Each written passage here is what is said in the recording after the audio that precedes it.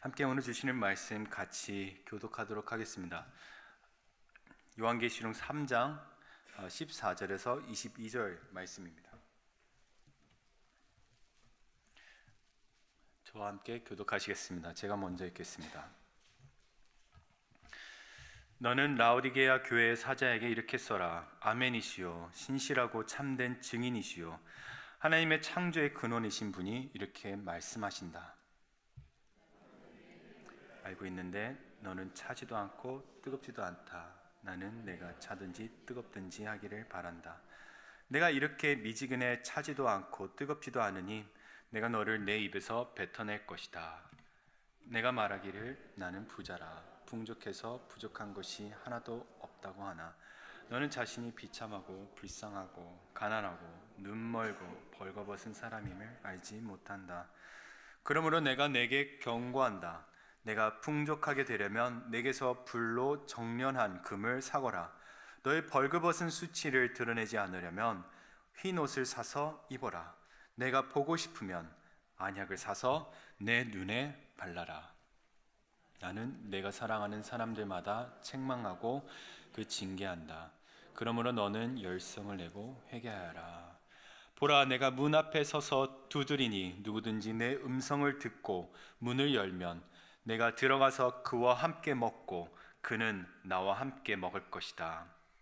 이기는 사람에게는 내가 이긴 후에 내 아버지와 함께 그분의 보좌에 앉은 것 같이 내가 내 보좌에 내가 하게 할 것이다. 함께 읽겠습니다. 귀 있는 사람은 성령이 교회들에게 하시는 말씀을 들어라. 아멘. 하나님의 기록된 말씀입니다. 잠깐 제가 기도하고 어, 말씀 나누겠습니다. 하나님 아버지, 어, 우리의 마음과 생각을 온전히 주님 앞에 어, 돌이킵니다. 이 시간 주님께서 말씀하시고 주의 성령님 가운데 임하시사 우리에게 이 말씀이 우리 마음판에 새겨질 수 있도록 도와주시옵소서. 제 입술을 거룩하게 하사 주님 아버지 온전히 주가 말씀하시는 것만 전하는 자 되게 하여 주시옵소서. 예수 그리스도 이름으로 기도드립니다. 아멘. 어, 제 아내가 저에게 어, 이런 얘기를 나눠준 적이 있습니다. 어, 렸을 적에 이제 아버지께서 아, 그러니까 저희 장인어른이죠. 어, 이제 사업 때문에 잠깐 사이판에서 살았었는데 뭐 바다도 좋고 경치도 좋으니까 바닷가에 이렇게 동동 떠다니는 튜브에 올라타서 한번 나간 적이 있었다라고 어, 저에게 얘기해 줬습니다. 아, 정말 좋은 그림이죠. 이렇게 따뜻한 사이판의 이제 해안가에서 아, 잠깐 태양볕을 쐬고 또 이제 동동 떠다니는 그 튜브 위에 앉아서 이렇게 어린 나이에 이렇게 쉴 수 있다라는 건. 근데 문제가 발생을 했다고 합니다. 아, 너무나도 이게 좋은지 잠에 들었다고 합니다. 근데 벌써 이렇게 딱 상상이 되죠. 잠이 든 상태, 또한 이렇게 동동 떠다니는 튜브 위에서 이렇게 누워 있다. 바다 위에. 아니나 다를까 제 아내가 눈을 떠보니 바다 한가운데 표류했었다고 합니다. 아 근데 참 그참 그 안타깝죠. 그 주위에 물놀이 하는 사람도 있을 거고 해안가 근처에 이제 집들이 집들도 있어서 이 표류하는 모습을 봤을 텐데 여러분들 해안가에서 이제 시간을 보내시다시피 아시겠지만 아, 그 주위에 있는 사람들이 떠내려가는지 아닌지 잘 안 보입니다. 왜냐하면 이렇게 파도 치는 상황에서 아, 이렇게 즐기면서 이제 자기의 상황에 집중하다 보니 사실은 다른 사람이 표류하든 안은 그게 잘 눈에 보이지 않습니다. 제 아내가 그렇게 얘기했을 때 저는 이렇게 물어봤죠. 두려웠었냐고. 근데 참 신기하게 제 아내는 두렵지 않았었다고 하더라고요. 오히려 참 큰 깨달음이 있었다라고 말해줬습니다. 큰 바다 한가운데 자기 혼자 고요하게 있으니 참 자기가 얼마나 작은 존재인지 그때 깨달았다고 합니다.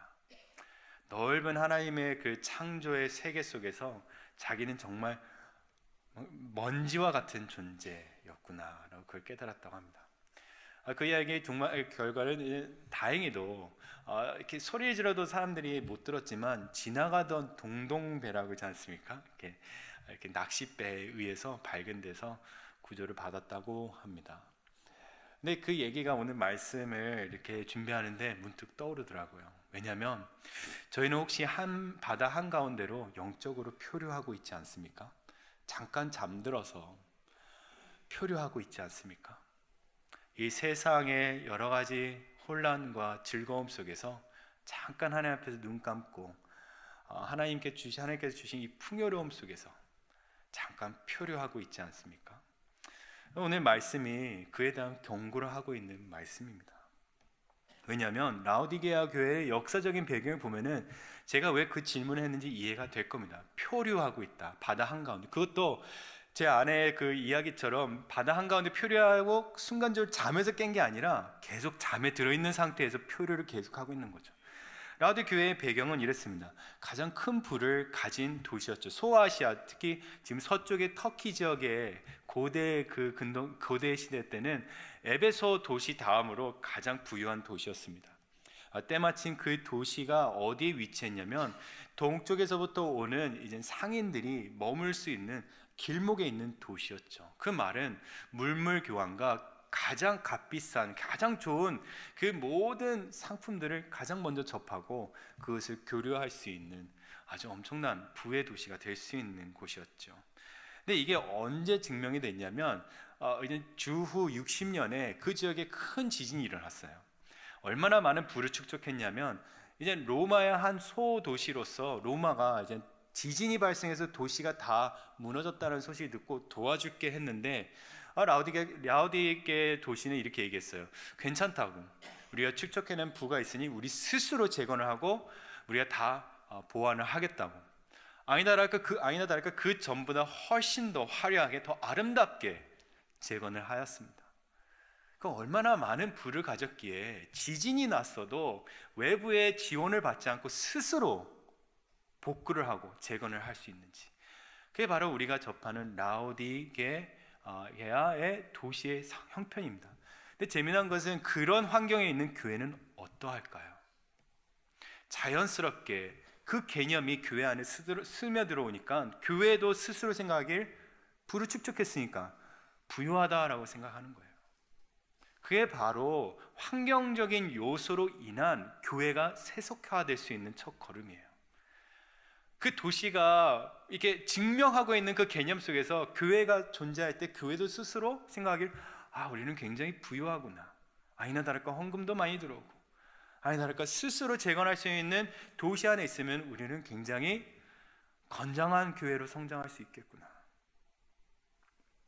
그래서 17절 말씀에 예수님께서 지적할 때이 그들이 말했던 것을 그대로 인용하는 거예요. 나는 부자라 풍족해서 부족한 것이 하나도 없다라고 그래서 스스로 얘기할 수 있다라는 어, 배경이 거기서 나오는 겁니다. 우리는 어떠합니까? 혹시라도 삶의 부여함 속에서 하나님께로부터 영적으로 표류하고 있지 않습니까? 이 세상 속에서 주는 안위와 하나님께서 허락하신 그 부와 명예 속에서 평안함이 찾아오니 혹시 그 안에서 하나님을 잊지 않았습니까? 신명기 8장에 경고하지 않았습니까?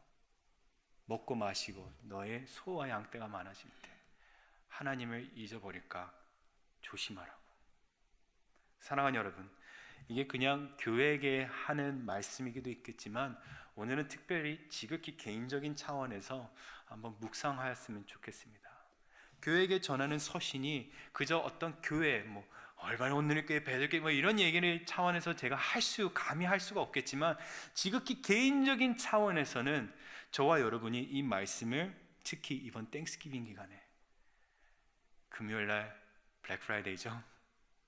어떤 세속적인 문화 속에 살고 있는 우리가 어떻게 하면은 이 마음을 지키고 온전히 영적으로 표류하지 않도록 깨어 있을 수 있을까? 오늘 말씀 그래서 이렇게 정리했으면 좋겠습니다. 하나님께 대하여 부유한 자가 되자. 이 세상에 주는 이런 평안과 안식, 그 다음에 하나님께서 그래도 덤으로 주신 이 부와 명예 속에서 정말 이것 때문에 내가 부하다라고 생각한 게 아니라 하나님 앞에서 하나님의 기준에 맞춰서 내가 부유한 자가 되자. 이들의 말한 것은 17절처럼 나는 부자라 풍족해서 부족한 것이 하나도 없다라고 스스로 평가하기를 부하다라는 것이 아니라 하나님께 대하여 하나님이 보시기에 진정으로 부유한 자가 되자. 이러려면 첫 번째 예수님께서 말씀하신 그 책망과 징계를 먼저 받아들여야 합니다. 그래야지 정말 내가 하나님께 대하여 부유한 자가 될 수 있다라는 것이죠. 두 번째 오늘 말씀 살펴볼 텐데 먼저 그의 음성을 들어야지만 이게 가능해집니다. 물론 너무나도 간단한 방법입니다. 여러분들 이미 잘 알고 있는 거죠. 뭐 새롭게 얘기하는 거 없습니다. 정말 하나님께서 주시는 그 책망과 징계를 받아들이면 우리 상태를 점검하는 가운데 하나님께 부여한 자가 될 수 있으며 두 번째 하나님의 음성을 들어 그 안에서 만족과 그 안에서 소망을 발견하는 가운데 정말 진정한 부를 얻을 수 있다는 것이죠. 먼저 첫 번째 부분을 말씀을 통해 보도록 하겠습니다. 14절 19절의 말씀에 보면은 정말 예수님께서 라우디게 교회에 얘기하는 책망과 징계에 대한 내용들이 나옵니다. 근데 14절에 보면 누가 말씀하시는지 예수님이라는 게 14절에 아, 보면 딱 나옵니다. 너는 라오디게아 교회의 사자에게 이렇게 써라. 아멘이시오 신실하고 참된 증인이시오 하나님의 창조의 근원이신 분이 이렇게 말씀하신다. 참되고 진리의 하나님이 되신 예수님께서 신실하고 참된 증인 정말 공생의 동안에 아버지께서 뜻하신 바만 말씀하고 이루시기 위해 신실하게 그것을 증거하며 지킨 예수님께서 그리고 하나님의 창조의 근원 정말 창조 때부터 창조 이전부터 그와 함께 하셨던 그분 예수 그리스도께서 라오디게 교회 말씀하니 들으라라는 거예요. 근데 이제 19절에 보면은 이렇게 기록되어 있습니다. 나는 내가 사랑하는 사람들마다 책망하고 징계한다. 정말 예수님이 어떠한 마음을 갖고 계시고 정말 창조의 근원이신 예수님이 어떠한 마음이냐면 영적으로 표류하여서 불쌍한 자여 내가 사랑으로 너에게 책망하고 징계한다. 정말 그로부터 동동동 떠내려, 떠내려가고 영적으로 방황하는 우리에게 사랑하는 마음으로 사랑하는 자여 내가 내게로 돌아올 수 있도록 너를 책망하고 징계한다라고 말씀하시는 겁니다. 그래서 그러므로 너는 열성을 내고 회개하여라라고 19절에 기록되어 있는 겁니다. 이게 바로 예수님께서 우리에게 지금 책망하고 징계하고 있는 말씀입니다. 16절에 어떤 책망을 하시는지 이어서 예수님께서 말씀하시죠. 16절 함께 읽도록 하겠습니다. 아, 시작. 내가 이렇게 미지근해 차지도 않고 뜨겁지도 않으니 내가 너를 내 입에서 뱉어낼 것이다. 개혁 개정으로는 조금 다르게 번역되어 있는데 한번 개혁 개정을 읽어볼까요? 16절에 이렇게 기록되어 있습니다. 아, 자막으로 제가 준비부터 했는데 한번 띄워줄 수 있을까요? 네. 아, 이게 바로 개혁 개정입니다. 한번 읽겠습니다. 시작. 네가 이같이 미지근하여 더없지도 아니하고 차지도 아니하니 내 입에서 너를 토하여 내치리라. 그러니까 어느 책망을 하고 있냐면 내가 널 마셨는데 이 말대로 토하여 내치리라 할 정도로 아, 정말 화를 낼 만큼 책망할 아, 책망하게 된다는 거예요. 근데 이제 아, 이제 우리말 성경은 조금 더 이제 완화돼서 어, 이제 번역을 한 것 같습니다. 내 입에서 뱉어낼 것이다. 근데 원어적으로 원어적으로 번역했을 때 개혁 개정이 더 잘 번역되어 있는 겁니다. 입에서 토한다는 거예요. 정말 마셨을 때 어, 정말 토를 어, 내, 내뱉게 할 만큼 그 물이 정말 역겹다라는 것이죠. 근데 이게 사실 왜 갑자기 예수님께서 물을 비유해 가지고 어, 사랑하는 사람에게 책망하고 징계하는 내용을 이렇게 비유적으로 설명했을까요? 근데 역사적인 배경을 한 번 더 보면은 어, 그 이유가 좀 더 확실해집니다. 어, 이젠 라오디게라는 도시가 있으면 그 북쪽 6마일로 히에라볼리라는 도시가 있어요. 하이라폴리스라는데 어, 이 지역은 어떤 지역이냐? 골로세와 더불어 어, 에바브라가 골로새서 4장에 볼 수 있는 내용입니다. 어, 에브라가 거기 복음 전도하기 위해 수고했던 지역이에요. 그러니까 이 세 도시가 밀집해 있습니다. 정 가운데 라우디 아, 라우디게아가 있고 그 위로 아, 그 위로 히에라볼리가 있고 동쪽으로는 골로새가 있었습니다. 근데 어찌 됐든 아, 그 히에라볼리는 여전히 지금 성지순례 도시로도 유명하고 지금도 유명한 게 뭐냐면 어, 온천으로 정말 사람을 낫게 할 수 있다라는 온천으로 유명한 어, 성스러운 도시입니다. 굉장히 성스러운 도시예요. 그 이전 예, 뭐 복음이 전파되기 전부터 아 진짜 이제 어, 어, 이제 다른 종교적으로 이제 그때 당시에는 이제 어, 헬라 문화권에 있었으니까 로마 신화겠죠. 어, 헬라 신화겠죠. 그 안에서도 유명했던 건 뭐냐면 아, 정말 신이 축복한 온천이 있으니 그 안에서 따뜻하게 몸을 이렇게 아, 데우면은 병이 낫는다라고 했던 온천이 있던 데입니다. 동쪽으로 10마일 떨어진 골로새는 어떤 물로 유명했느냐? 찬물, 정말 냉수처럼 냉천이 흐르는 걸로 유명했습니다. 그렇기 때문에 이젠 그 가운데 껴있는 라우디게아는 물이 없었어요. 그러니까 따뜻한 물을 어, 어, 히에라볼리에서부터 가져와야 됐었고 차가운 물을 골로새로부터 끌어와야 됐었어요. 근데 여러분들 잘 아시죠? 그때 당시에는 뭐 파이프가 있었던 게 아니라서 어, 이제 로마 시대 때 만들었던 이제 수로 있지 않습니까? 돌을 쌓아가지고 위로 이렇게 돌이 쭉쭉쭉 흐르게 하는. 근데 공개적으로 이렇게 위에 열려 있고 그 다음에 모든 먼지와 그 벽돌 사이로 흐르는 문이 광물들이 쌓이면 시간이 흐르면서 따뜻한 물과 차가운 물이 미지근해질 수밖에 없습니다.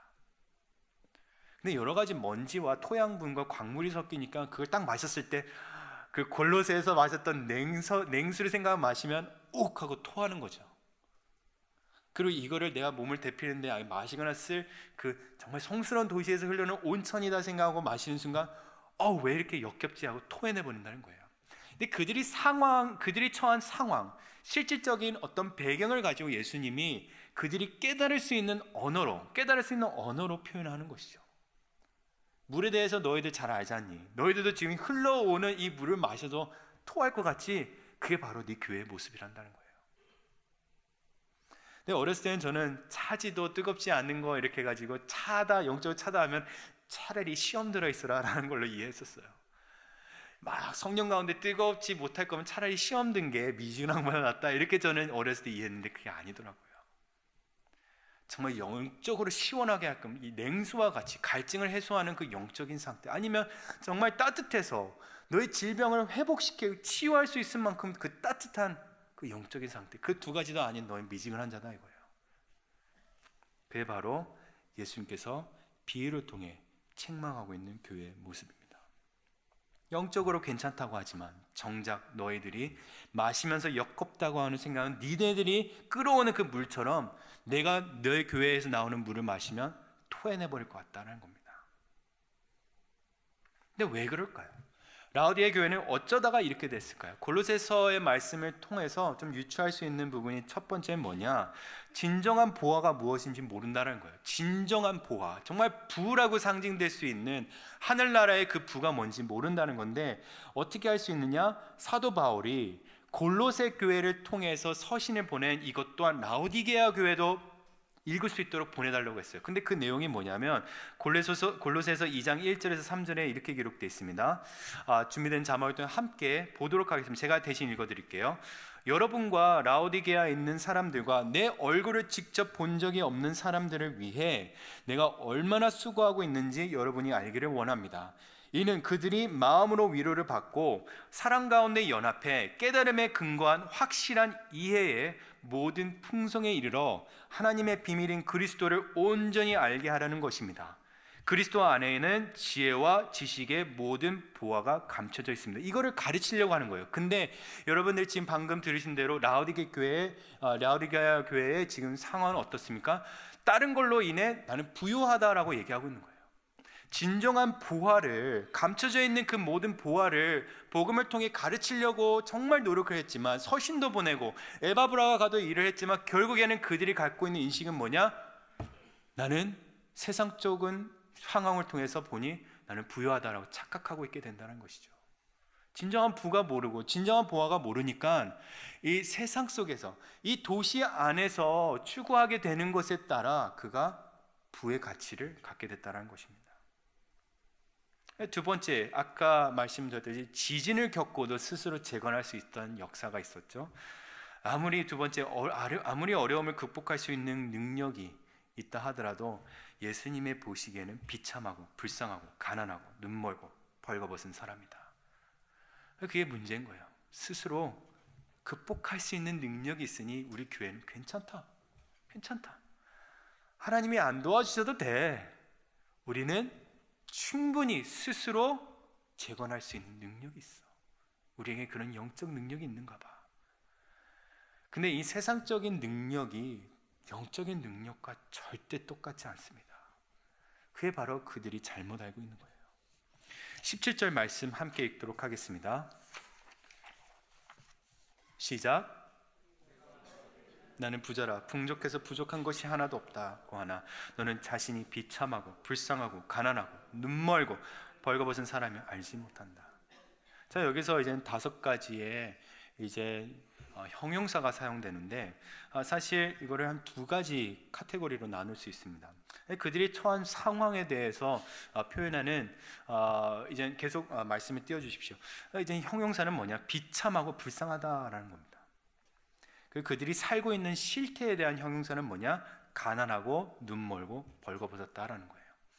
근 이게 비참함과 불쌍함은 이따가 말씀 속에 나오겠지만 20절에서 22절입니다. 하나님의 음성으로만 해결될 수 있는 거예요. 그들이 실태해야 되는 것은 실질적인 어떤 훈련과 행동 수칙의 교정으로 가능합니다. 가난하고 눈멀고 벌거벗은 것을 이따가 우리가 말씀 있겠지만 18절에 보면은 무엇을 사서 해결하라고 주님께서 그 방법을 알려 주십니다. 근데 먼저 이제 18절 이어서 말씀이 나오니까 먼저 그러면 가난과 눈멀 이런 이제 맹인이 된 거죠. 벌거벗은 상태에 하나님께서 예수님께서 어떻게 해결할 수 있는지 알려주시느냐. 아, 이제 돈을 주고 살아갑니다. 근데 재미난 것은 예수님께 돈을 주고 살 수 있는 겁니까? 아닙니까? 이거는 그냥 하나님께서 은혜 가운데 주시는 거예요. 근데 그들이 상업 도시고 그들이 물물교환하는 상인들의 도시다 보니까 그들이 이해할 수 있는 언어로 비유적으로 설명하는 거죠. 너희들 돈 갖고 다른 걸 사지만 정작 네가 갖고 있는 돈으로 그 경쟁력으로 무엇을 사라? 내게 있는 것들을 사라라고 말씀하시는 겁니다. 첫 번째, 내게서 불로 정렬한 금을 사거라. 정말 부를 누리고 싶으냐? 정말 네가 부자라 스스로 칭하고 싶으냐? 그러면 내게서 정연한 정금을 사라라는 거예요. 근데 이 정금이 어떻게 만드는지 순간적으로 이제 여러분들이 이제 본능적으로 딱 깨달아졌을 거예요. 그러나 욥기 23장 말씀입니다. 그분은 내가 가는 길을 아시는데 그분이 나를 시험하시고 나면 내가 순금같이 나올 것이다. 정금같이 되리라. 예수님께서 나에게서 그 정금을 사라라고 했을 때는 나를 따라 고난 가운데 나와 함께 걸어 진정한 네 스스로가 금이 되라라는 거예요. 그러니까 이걸 이게 비유적이에요. 사라라고 했지만 정작 이거는 하나님이 주시는 선물이에요. 우리가 진짜 어떻게 금을 하나님께 사겠습니까? 하나님 주셔야죠. 근데 그 금이 어떻게 만들어지느냐? 주와 함께 고난에 참여한 자가 고난을 통과하면서 정금같이 나오게 된다는 거예요. 우리가 살고 있는 이 실태가 정말 가난하다면 하나님께서 어떻게 부유하게 만들어줄 수 있느냐? 나와 함께 고난에 참여하라는 거예요. 그럼 네가 진짜 진짜 부유해질 거다. 네 자신이 정금같이 나올 것이기 때문에 누구든지 나를 따르려거든 자기를 부인하고 자기 십자가를 지고 따라야 한다라고 예수님께서 말씀하셨습니다. 정말 살고자 원하느냐? 그럼 나를 위해 죽으라. 이 세상 속에서 네가 살고자 한다면 너는 죽는다. 자기를 부인하고 나를 따르라. 그게 정말 부유해질 수 있는 방법이라는 거죠. 두 번째, 흰 옷을 사서 입으라. 아, 이거는 본능적으로 유추할 수 있겠죠. 거룩의 흰 옷. 정말 이 세상에서 줄 수 없는 거. 라우디에 라우디게아 도시는 뭐로 유명했냐면 이젠 아, 검은색 정말 아, 그 윤기가 잘 흐르는 이젠 아, 양으로 만든 이 옷들이 굉장히 유명했습니다. dark wool이라고 그러더라고요. 근데 그 옷을 입으면 정말 이것을 어, 사고 팔며 하면서 자기네들이 갖고 있는 이 옷에 대해 자랑하는 도시 속에 사는 교인들은 어떻게 생각했습니까? 다른 지역보다 우리는 더한 더 좋은 재질로 만든 옷을 입고 있어. 정반대되는 옷을 입으라고 예수님께서 말씀하시죠. 아무리 너의 수치심을 어떠한 옷으로 갈아입으려고 해도 내가 입혀주지 않는 이상 넌 내 앞에서 벌거벗겨진 수치스러운 존재다는 거예요. 아담과 하와도 마찬가지입니다. 죄를 범한 이후에 하나님께로부터 숨으려고 막 낙엽옷을 만들었어요. 근데 하나님 앞에서 그게 얼마나 여전히 수치스러웠을까요? 그래서 하나님께서 어떠한 옷을 입혀주셨죠? 동물을 죽여서 가죽옷을 입혔습니다. 비로소 그때 하나님이 보시기에 희생 제물을 통하여 입힌 옷이기 때문에 하나님 앞에 그래도 괜찮아 보인 겁니다.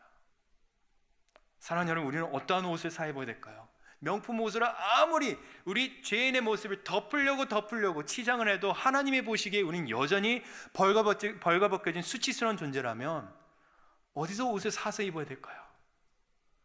하늘나라에서 내려주시는 그 옷을 사 입어야 됩니다. 근데 우리가 살 수 있나요? 아니요. 하나님께서 거저 입혀주신다라는 거예요. 거저 입혀주신다.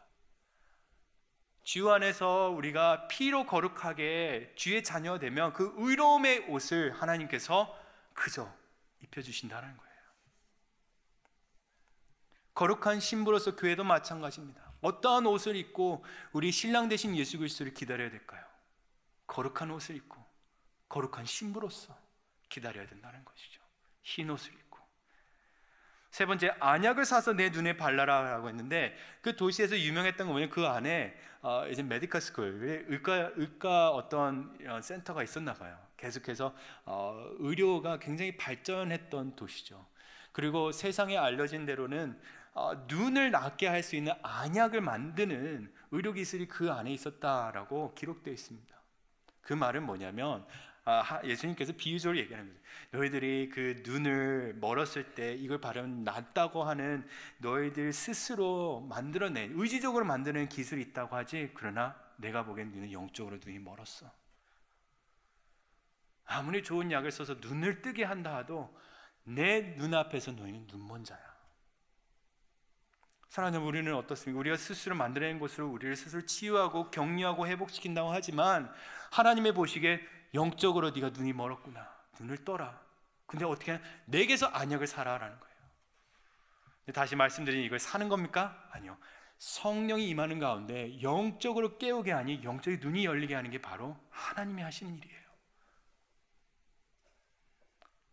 세상의 모든 어떤 문화와 이 혼란 속에서 영적으로 표류하고 계시지 않습니까? 영적인 감각이 점점 더 무뎌져서 분별력을 잃고 세상 사람과 별반 다르지 않는 크리스천이라고 내 스스로를 호칭하기 어려운 삶을 살고 계십니까? 너는 눈 멀었구나 라고 예수님께서 말씀하십니다. 세상에 어떤 약을 써도 눈 열게 하지 못합니다. 성령님이 내 안에 오셔서 잠자고 있는 나를 깨워야 눈이 번쩍 띄어지는 것이죠. 그리고 우리는 어떻게 잠에서 깨어날 수 있을까요?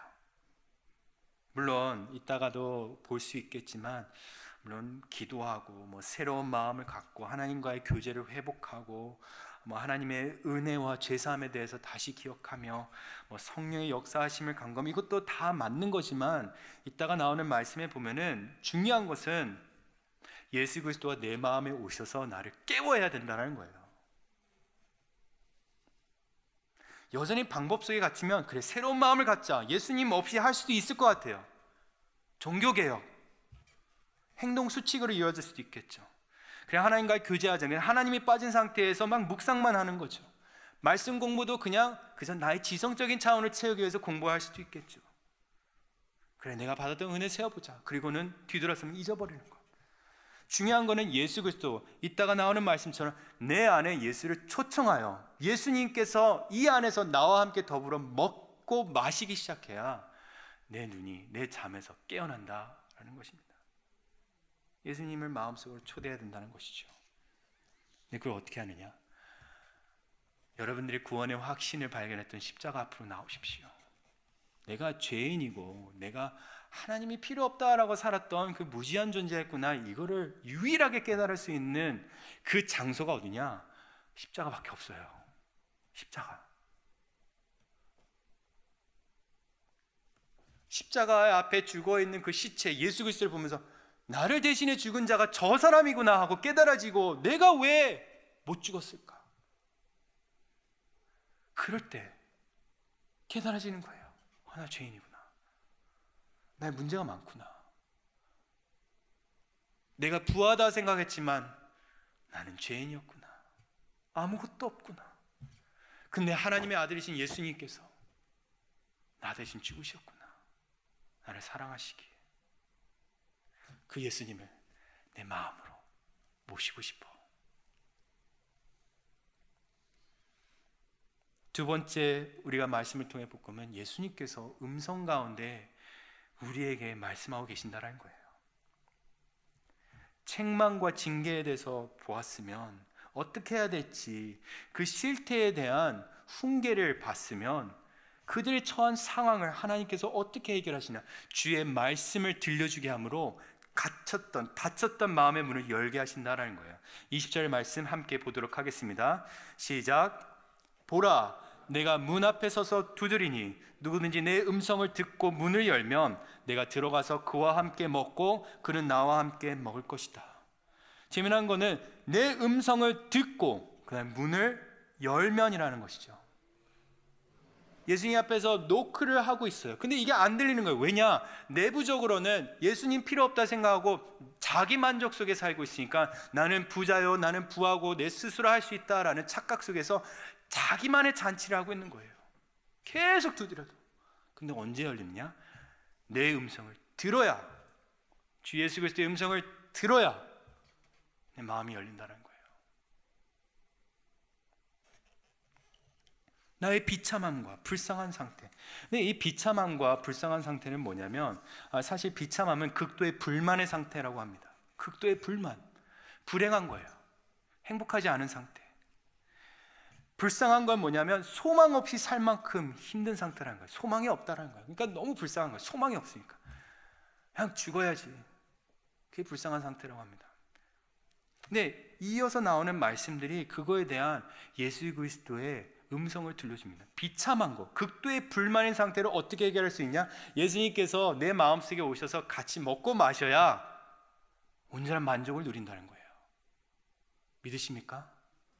여러분들 최고의 만족이 예수님께서 이 안에서 동윤아 나와 함께 거하여 마시고 하나님 앞에 예배하자.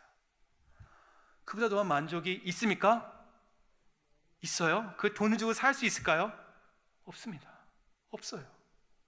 예수님께서 직접 문을 열린 상태에서 들어와서 이리와 나와 함께 먹자. 너는 나와 함께 먹을 것이다. 여기서 보면 주어가 계속 하나님이십니다. 예수님입니다.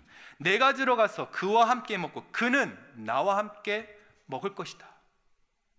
그때 만족이 있다는 거예요.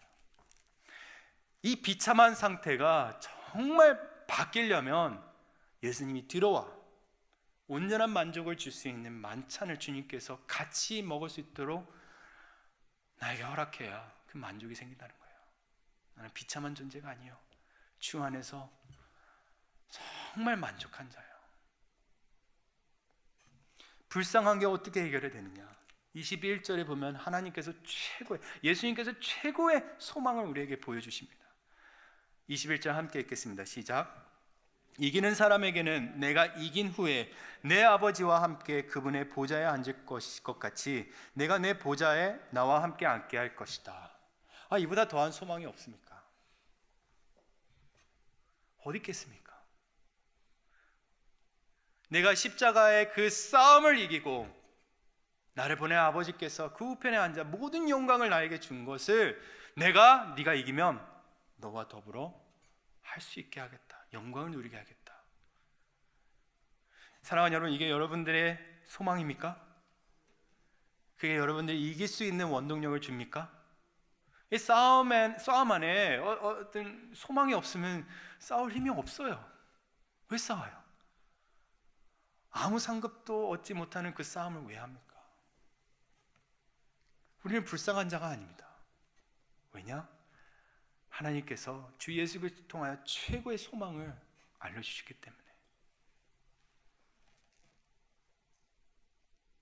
우리가 들어야 할 위로 바로 내가 너와 먹고 마시겠다. 우리가 들어야 될 격려 내가 너에게 소망을 알려 주겠다.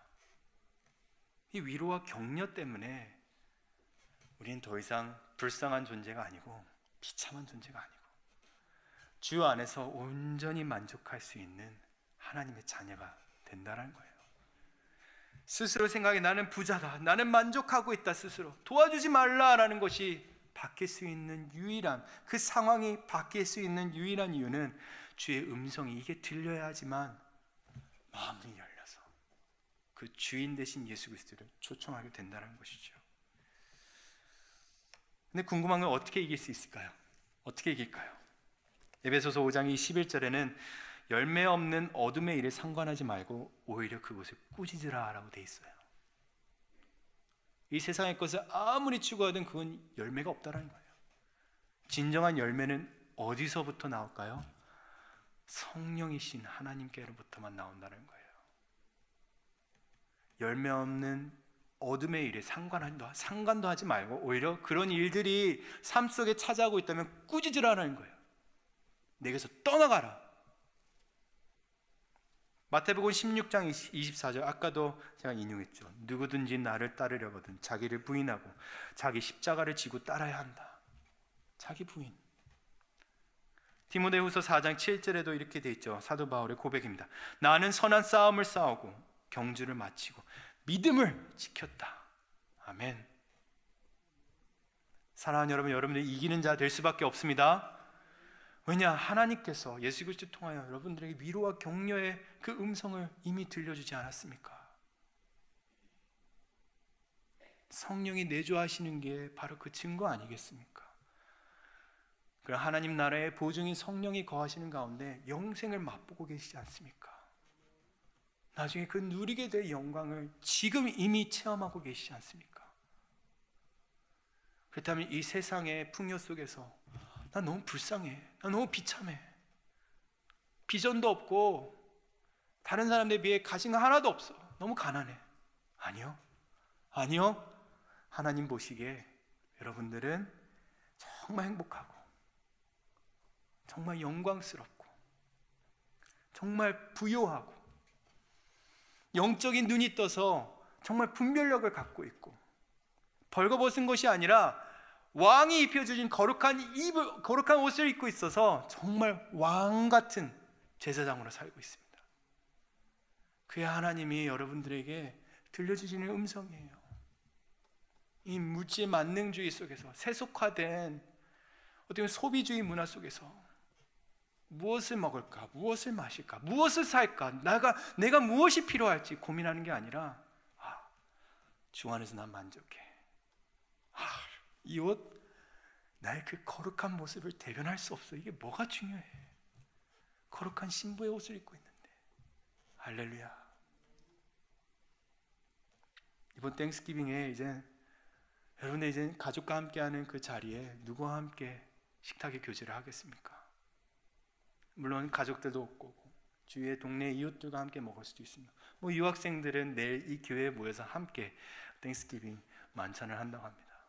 누구와 함께 하든 더 중요한 건 뭐냐면 아까 20절의 말씀처럼 예수님이 계신 자리에서 먹으십시오.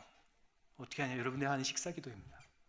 식탁을 축복하면 주님 성령 가운데 우리와 함께 하여 주시옵소서. 예수님 보이지 않는다고 그냥 감사 기도 드리고 서로 교제하고 우리끼리 먹는 이 식탁의 문화가 아니라 보이지 않는 예수여 성령 가운데 이 자리에 함께하여 주셔서 우리의 모든 대화와 우리의 먹고 마심이 주께 영광 되게 하여 주시옵소서. 그럼 성령이 함께 하실까요? 안 할까요? 그렇게 기도하는데 식탁의 자리에 의자를 마련하지 않아도 구름같이 그 풍성한 은혜가 여러분들 그 교제하는 자리에 임할 것입니다.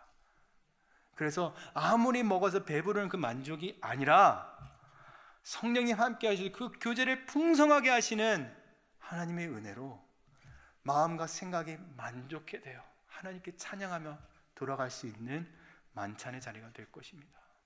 그렇게 기도하십시오. 그저 그냥 식사 기도 감사합니다 하고 그냥 먹기 위해 하는 기도가 아니라 주여 이 자리에 함께 하소서. 성령 가운데 함께 하시사. 우리 먹고 마시는 만족뿐만 아니라 주의 성령으로 베푸시는 그 은혜가 우리 마음 깊은 곳까지 만족하게 하여 주시옵소서. 더 이상 목마른 자로 살게 하는 게 아니라 정말 내 영혼에서부터 흘러나오는 생명수를 마시는 자로서 만족하게 하여 주시옵소서. 책망과 징계를 받고 주의 음성을 듣는 사람은 어둠 속에 있지 않고 그렇기 때문에 빛 가운데로 나옵니다. 잠자고 있는 상태로서 그 어둠 속에 갇힌 자가 아니라 눈을 떠서 하나님 임재 앞에서 그 빛 가운데로 나오니 빛의 자녀가 되는 것입니다.